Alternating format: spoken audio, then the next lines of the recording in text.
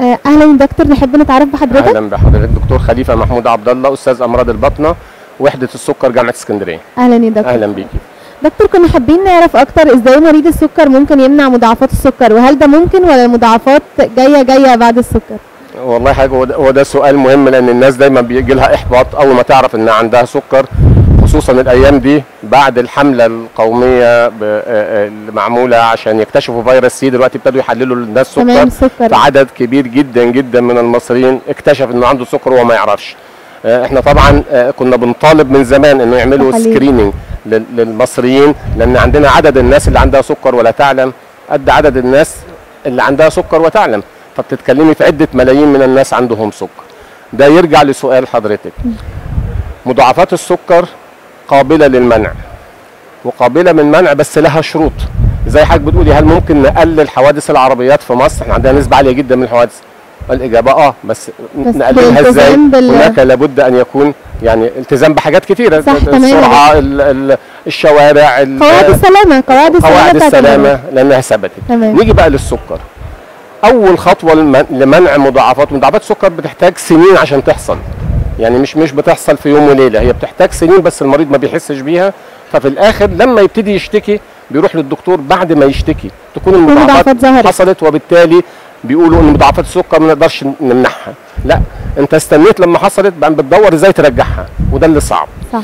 فبالتالي أول خطوة إنك تمنعي السكر أصلا إنه يجيلك. ما ما دي أول خطوة. من منع المضاعفات ما تخليش المرض يجي. هل ده فعلا ممكن؟ آه طبعا. كل الدراسات قالت لو الإنسان المعرض للسكر اللي عنده استعداد وراثي سنين ال- السيدة اللي جالها. سكر حمل بيسموهم دول ال- المجموعة الأكثر عرضة للسكر. الناس دي لو مشيت على نظام غذائي ورياضي معين ثبت بكل مش بأدوية بكل الدراسات نسبة كبيرة منهم ممكن يمنع ظهور السكر. وطبعا السمنة المفرطة جدا أصبح دلوقتي كمان التدخل الجراحي التن... يعني بأي طريقة التدخل الجراحي لو فشل بال... بالنظام الغذائي إنه يقلل وزنه هيمنع السكر. يبقى لو منعت السكر يبقى منعت المرض من الأول وبالتالي مضاعفات. ما. جاتش من الأول. صح تمام. الخطوة الثانية ان اكتشفه بدري لو كان عندي. المشكلة إن السكر ملهوش أعراض في الغالبية العظمى من الناس ودي عكس كل مفهوم الناس. لما تقول الناس أنت ما حللتش قبل كده يردوا ال- ال- الطبيعي ليه؟ أنا ما كنتش حاسس بحاجة. ما أعملش بول كتير مش عطشان ما بخسش وبالتالي ما حللتش. فعايزين نوصل للناس إن 50% من اللي عندهم سكر أصلا ما عندهمش أعراض. فلا تعتمد على هذه الأعراض لأنك هتتأخر جدا في التشخيص. طالما عندك استعداد وراثي أو أنت من الأشخاص اللي بنصنفهم عندهم استعداد أكتر للسكر لو سمحت مرة كل سنة مرة تحلل سكر صايم. عملية في منتهى البساطة. عشان كده إحنا مبسوطين من الحملة اللي موجودة أيوة دلوقتي للتشخيص. هتكتشف ناس كتير جدا عندهم سكر. اذا لو اكتشفته بدري هقدر بقى أنظم عوامل الخطورة بدري. يبقى دي الخطوة الثانية ما استناش لما تجيلي المضاعفات. لو اكتشفت بقى ان عندي سكر أو أنا إنسان already عندي سكر. الخطوة الثالثه أمنع المضاعفات إزاي؟ نظبط عوامل الخطورة التي تؤدي لمضاعفات. زي مثال العربية اللي قلت لحضرتك ما امشيش بسرعة ما امشيش في شبورة ما امشيش في رملي وحشة ما امشيش دي عوامل خطورة. صح. تؤدي لحوادث. في السكر هم إيه؟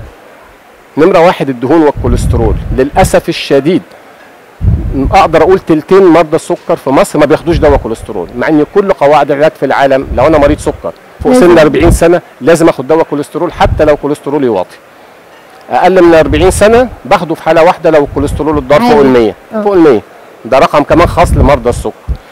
ده أهم من نسبة السكر.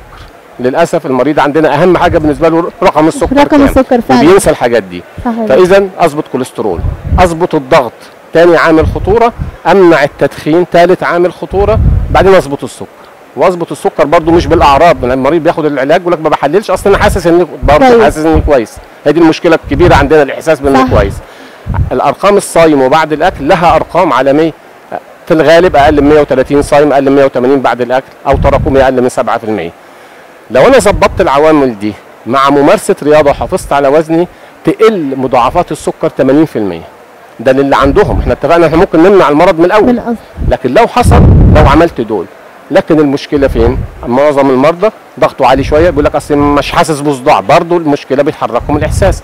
سايب ضغطه وسايب سكره ما بيتابعش كوليستروله وبيدخن. ما بيعملش رياضة. بعد يرجع يقول السكر وحش. السكر هو اللي عمل كل كل المشاكل. أيوة أنت. سايب كل الأمور دي. ده مش كده كمان. هرجع أقول في خطوة رابعة. شوفي كام خط دفاع.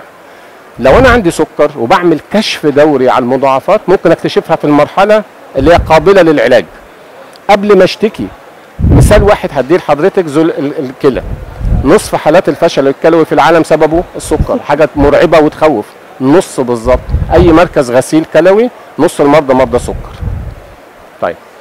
حاجة تخوف. طب نعمل إيه عشان نمنعه؟ غير إن نظبط عوامل الخطوره اللي اتفقنا عليها أعمل كل سنة يسموه. كشف دوري حاجة اسمها زلال البول الدقيق في البول.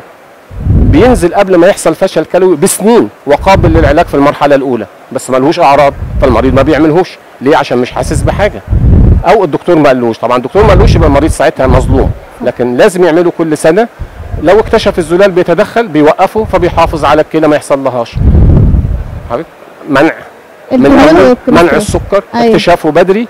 أنا بتكلم على المراحل. ولو أيوة. اكتشفته هظبط عوامل الخطورة ثم أعمل كشف دوري وبالتالي نقلل الاحتمال جدا لكن ما ما ما بنعملش ده ما نجيش نشتكي من السكر. من السكر. ميرسي يا دكتور جدا على. وقت حضرتك. شكرا. العافيه